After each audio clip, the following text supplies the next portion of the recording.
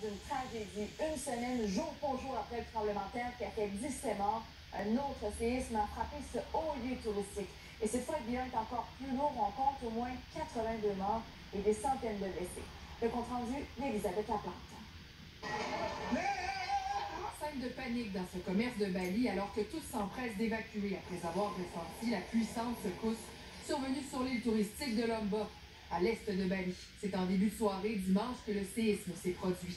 D'une magnitude de 6,9 selon l'Institut américain de géophysique, il a été suivi de deux autres secousses, dont une de magnitude de 5,4, puis d'une vingtaine de répliques. Nous venons tout juste de ressentir une réplique. C'était très puissant, témoigne ce résident de Bali. Les autorités ont rapidement lancé une alerte au tsunami, demandant aux gens de se tenir loin du rivage. Puis l'alerte a été levée.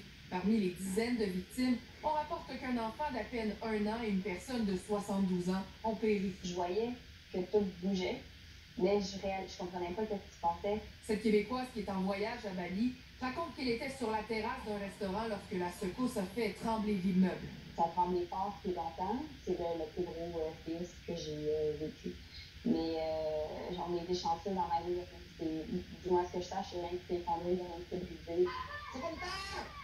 Les membres de cette famille de Mataram, principale ville de Lombok, ont fui d'urgence leur maison. Dans ces hôpitaux de Bali, les patients ont été évacués par civière. Le séisme serait survenu à 10 km de profondeur.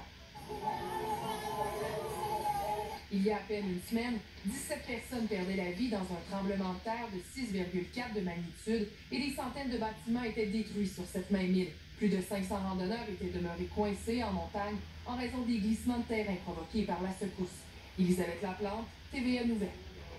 Et je me suis entretenue un peu plus tôt avec une autre jeune femme qui était sur l'île de Lombok au moment du puissant séisme. Elle et son amie avec qui le voyage se portent bien, mais la situation est encore très chaotique. On partait euh, pour euh, souper euh, au centre-ville ici à Couture. On était sur la rue principale. on attendait, puis d'un moment à l'autre, tout est mis à bouger sous nos pieds. C'est vraiment le sol qui glissait de, de, gauche à droite, de haut en bas les bâtiments euh, tremblaient. Euh, d'un moment à l'autre, les gens se sont mis à, crier, puis les choses tombaient des, des immeubles. Euh, à deux minutes plus tard, il y a vraiment eu de foulée de gens, de locaux, de couteurs qui ont pris leur scooter et qui sont partis en criant.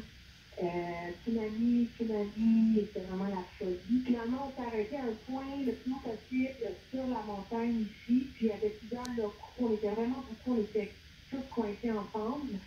Euh, on a attendu là pendant deux heures et demie, mais vraiment, les, locaux ont été très gentils. Les gens qui sont passés, ils ont donné de l'eau, ils nous demandaient comment ça allait, ils donnaient des nouvelles. Euh, mais à part de ça, vraiment, on était dans le néant. On ne savait pas ce qui se passait par rapport au tsunami et euh, au séisme. Les relations s'enveniment entre l'Arabie saoudite et le